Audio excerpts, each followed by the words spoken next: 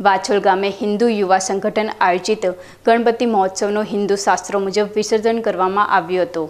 બનાસકાંઠા જિલ્લાના વાછોલ ગામમાં ભાદરવા સુદ ચોથથી લઈને દેશભરમાં ગણપતિ મહોત્સવ ઠેર ઠેર આયોજન થતું હોય છે. જેમાં બનાસકાંઠા જિલ્લાના રાજસ્થાનની સરહદી વિસ્તાર વાછોલ ગામમાં પાંચ દિવસ ગણેશ મહોત્સવનું આયોજન હિન્દુ યુવા સંગઠન દ્વારા કરવામાં આવ્યું હતું. જેમાં પાંચ દિવસ ધામધૂમ રંગેચંગે લોકોએ ખૂબ જ ભક્તિભાવ માહોલનો આનંદ માણ્યો હતો અને ગામમાં સંપૂર્ણ ભક્તિમય આધ્યાત્મિક માહોલ સર્જાયો હતો.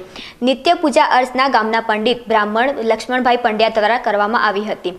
ગામના સૌ કોઈએ આ ગણેશ મહોત્સવમાં ભાગ લીધો હતો. સ્થાપનાના અંતે આજે વસમી વિદાય અને આજે વિસર્જન માટે બુધવારના રોજ દાંતીવાડા તાલુકાના ગંગેશ્વર ધામ ખાતે નજીક વાછોલ ગામના યુવાનો, બાળકો, વડીલો મોટી સંખ્યામાં ગંગેશ્વર ખાતે ગણેશજીનું વિસર્જન કરવા નીકળ્યા હતા. ગણેશ રાજાની સવારી ડીજેના તાલ બધા નાચતા ગાતા નીકળ્યા હતા. વિસર્જનમાં પણ હિન્દુ શાસ્ત્ર મુજબ વિસર્જન અને વિસર્જન પૂર્વે પૂજા અર્ચના કરાઈ હતી.